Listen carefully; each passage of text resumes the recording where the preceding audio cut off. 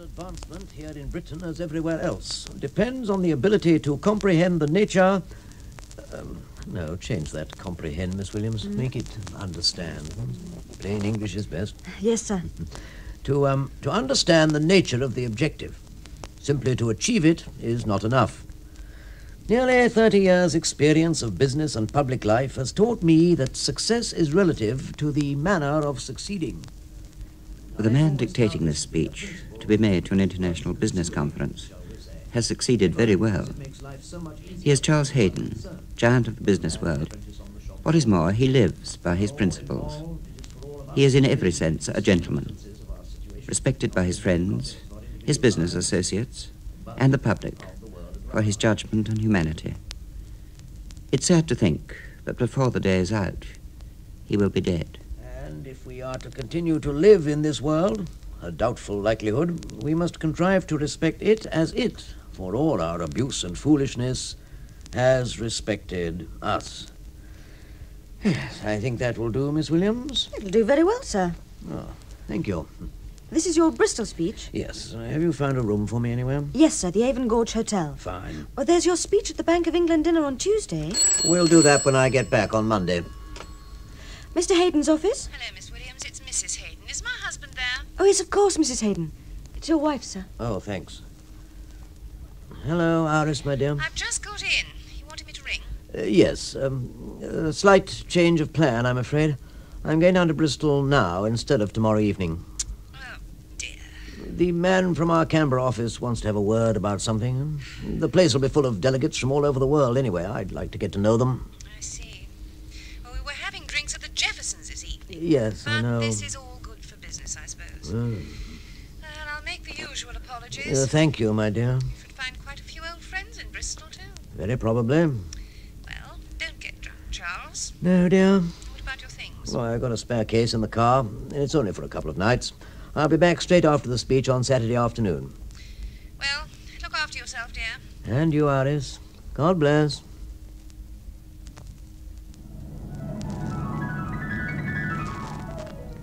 Charles drove himself whenever he could. His chauffeur had more time off than on. Unlike a lot of us, Charles enjoyed the solitude. It gave him time to think. He was a good driver, too.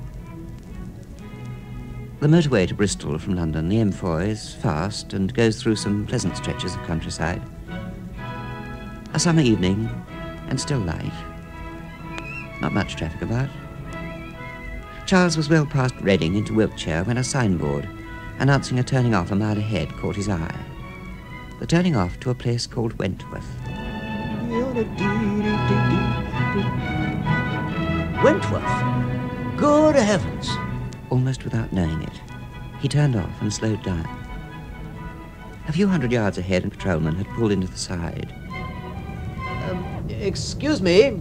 Sir? How far is Wentworth from here? About four miles, sir. Hmm. There was a village just beyond it, uh, Mickleham. Is it, uh, is it still there? Oh, yes, sir. Not a housing estate by now or anything? No, sir.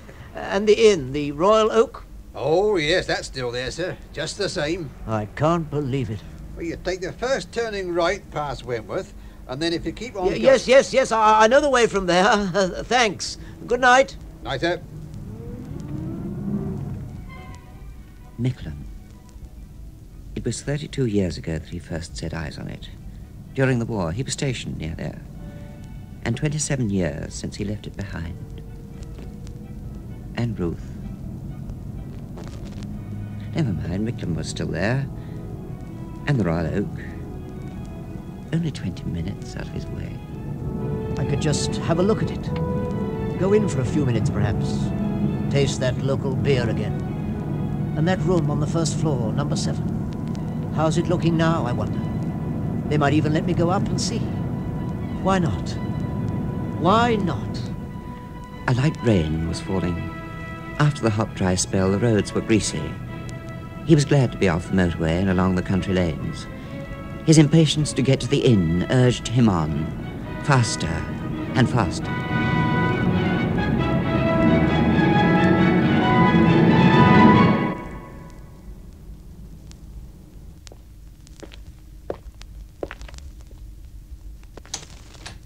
Charles opened the ancient latched door of the Royal Oak and made his way to the lobby.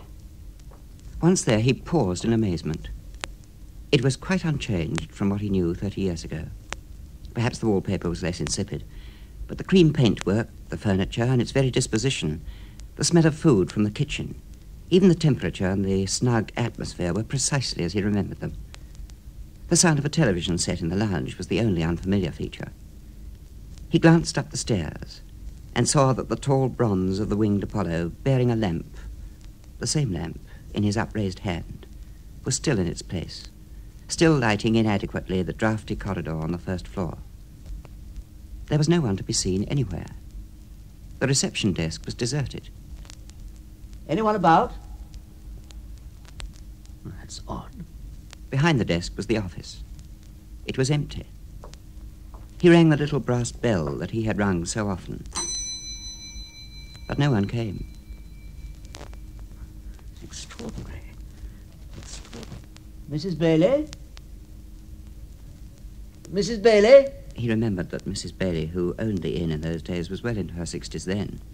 She would have parted from it long ago, if not from life itself. Must be someone somewhere. He went to the bar and looked in. A huddle of elderly men at a table in the far corner murmured over their beer, taking no notice of him. And there was no one behind the counter. In the lounge, the only occupant was fast asleep in an armchair. Charles went back to the reception desk. The keys of vacant rooms hung on a board, and that to number seven was among them. No other key was of interest to him. It was as much his room now as it was all those years ago. He took the key and climbed the dim stairs, remembering accurately which of them would creak under his foot.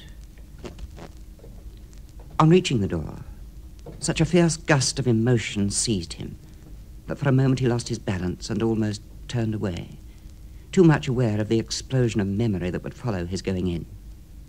But he knew that he must and would go in.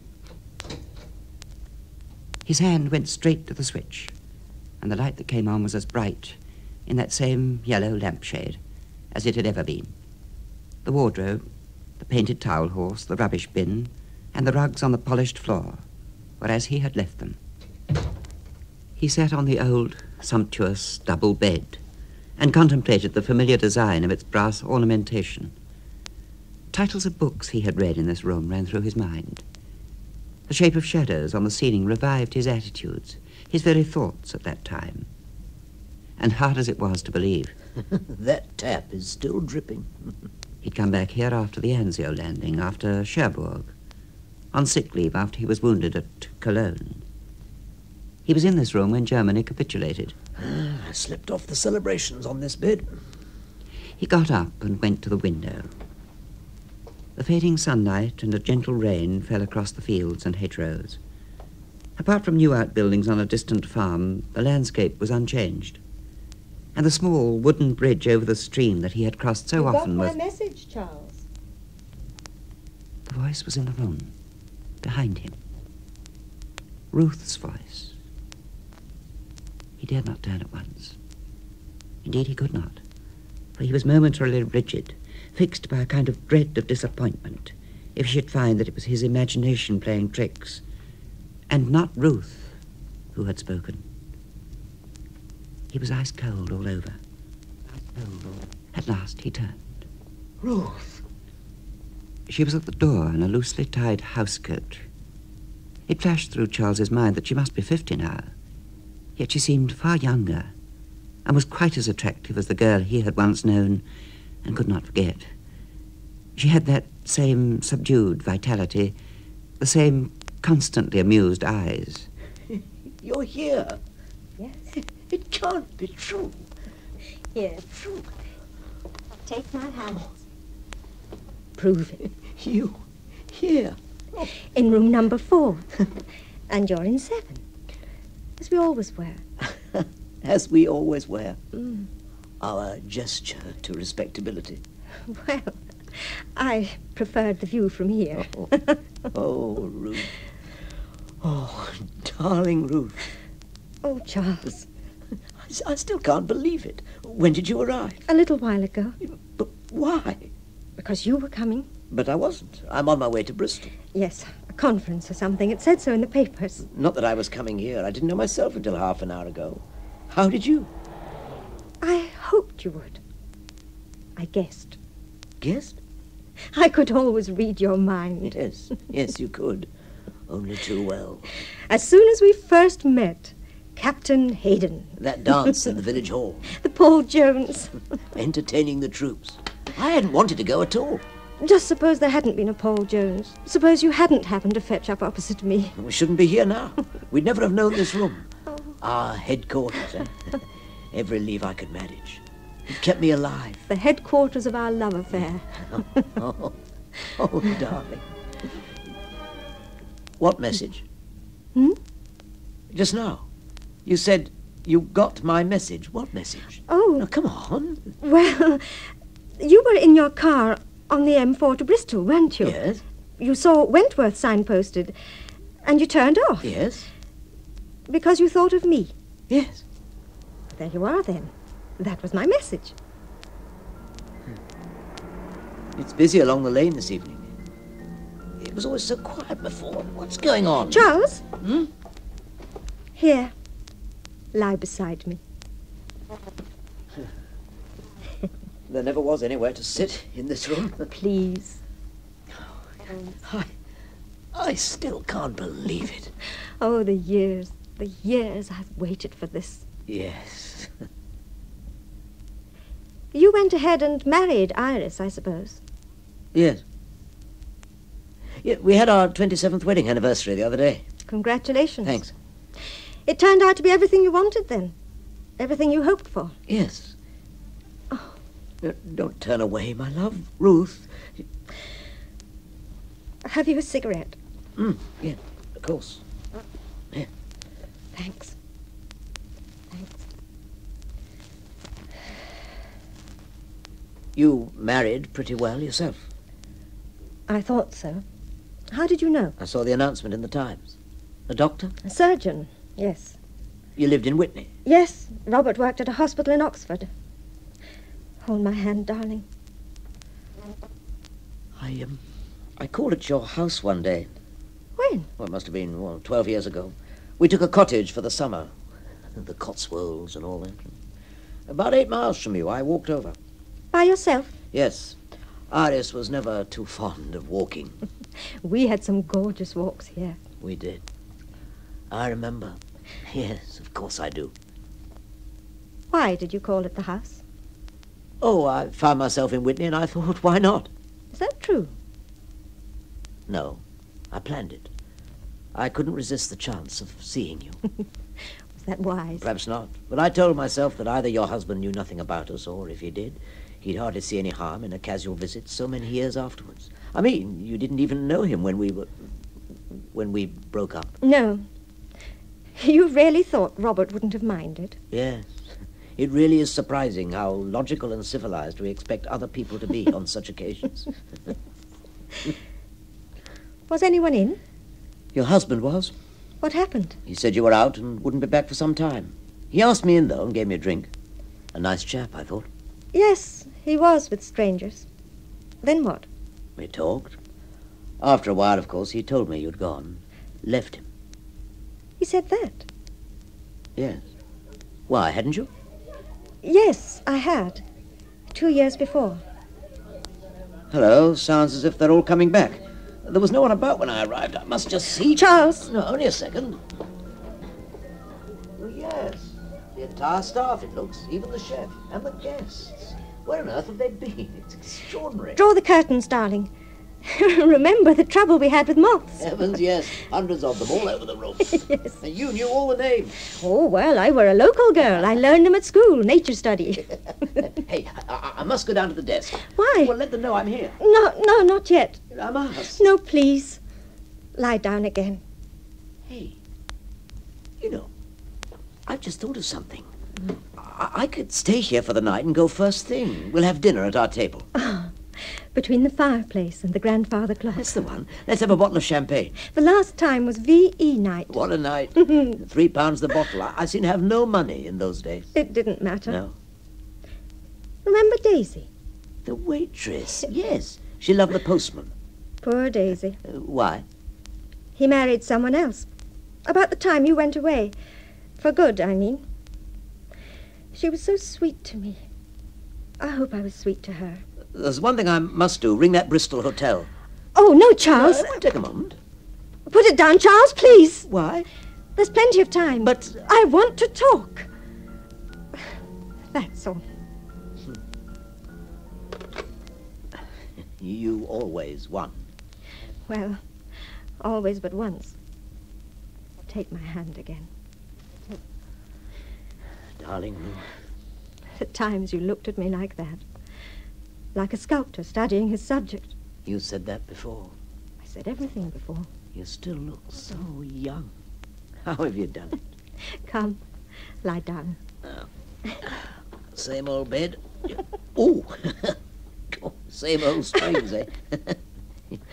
you know, I, I'd thought this was all past. Worse than that, I thought we were past it. We're middle-aged now. It doesn't seem to matter. No, it doesn't. I've lost some of my hair, I'm afraid. I'm not as slim as I No, was. nor am I. But you are. Too late, darling. Sorry. it makes no difference anyway. No. None at all. Oh, Ruth, I love you. I love you. Oh. Who'd have believed we'd be lying here together again? This room, this bed. Mm. I want you as much as ever. Me too. Why did you leave Robert? Have you been happy with Iris? Have you? It's been a successful marriage. I said happy, Not entirely happy, but successful. meaning it allowed you to be successful. I suppose so, yes. You'd have been happy with me. Uh, let's not talk about it. Not so successful, perhaps, but Uh, happier. Ruth, Ruth, please. I want to talk about no. it. Come with me now. Hmm? Come with me. Where? How do you mean? Come with me. Let's be together all the time. Oh, Ruth, how can It's I? easy. It certainly isn't. Yes, it's easy now. Just come. I can't. Why not? Why not? Are you afraid of a scandal? Of a row in the boardroom? None of these things. They won't happen anyway. Well, they could. No, How do you know? they won't. If that's all It's you... not. I've told you. It's none of those things. What then? You know perfectly well. Iris, Oh, Ruth, Ruth, don't. leave me alone. Darling, don't stare down at me like that. You, you look like a, like a judge about to pass sentence. Iris, aren't there any limits to that sort of loyalty? She's my wife. I knew you long before she did. Yes, but But... But her father was a top civil servant at the War Office. He could pull strings. Oh, Ruth. Just what an ambitious young man was looking for. you don't have to remind me. People manage to forget such things. Well, how could I? I see his daughter every morning across the breakfast table. Well, it paid off. If it's any comfort to you, it's the one thing in my life that I most regret, that I'm most ashamed of. It's no comfort. Well, you told me all about it in this room that evening, I know. just before you were demobbed. Yes. She's an unremarkable girl, you said. Did I? God forgive me. Wasn't she? I suppose, yes. But I was fond of her. You loved me. I can smell boiled fish. Let's go down and eat. Shall we? Ruth? Don't you owe me some loyalty, too? Yes, yes, I do. Not I- because I knew you first, or because it would be decent of you, or anything of that kind, but just naturally. Because you love me more than anyone. Don't you? Yes, I do. Forget Iris, then. Stay with me. Oh, darling. We had this conversation once before. That evening, Yes. It wasn't a conversation. It was an almighty row. It was the worst battle I fought in the whole war. it got us nowhere then. Now, now, don't start again. hmm? I'm more your wife than she'll ever be. Yes, you said that at the time. I could still be. I could go on being. I could, Charles. Why do you smile? Why do you shake your head? You know. You could come with me. there's nothing to stop you. Ruth, my darling, you never did accept anything without a fight, did you? Well, what fights we had. And what armistices. Oh, that was the great thing. The armistice, even that evening. Yes. Oh, come here. Hmm? Oh, oh, my darling. Now we're together again.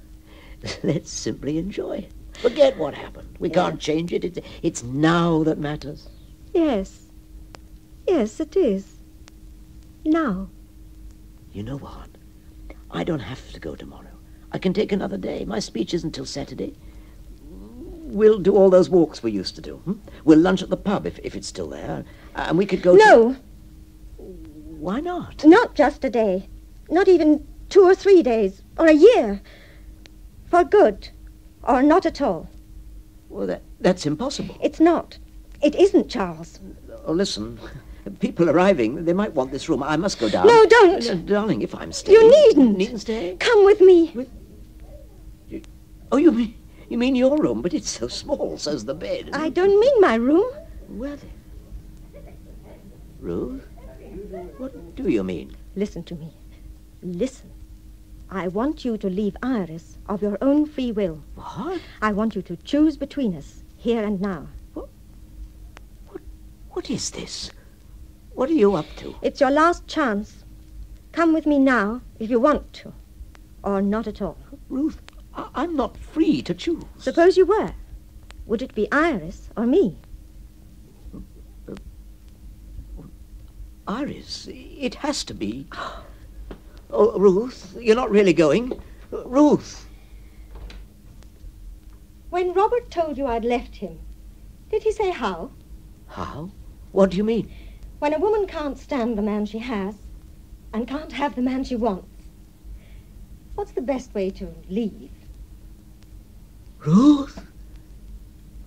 Goodbye.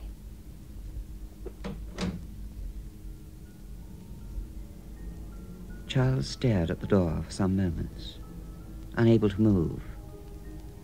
His entire body was cold, paralyzed by the inadmissible. Was Ruth then some sort of apparition? Or the manifestation of his associations with this room and his desires? An hallucination?